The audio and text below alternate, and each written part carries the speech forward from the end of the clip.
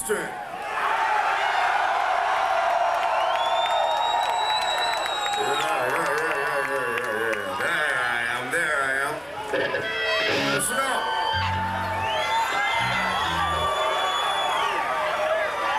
I want to thank y'all for coming out to see the fucking Down show, for God's sake, man.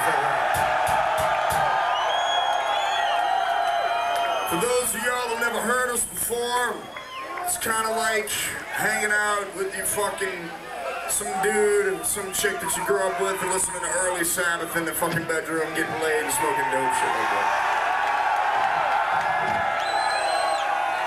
Uh, first song is called Pillars of Eternity. If I fuck up, understand why.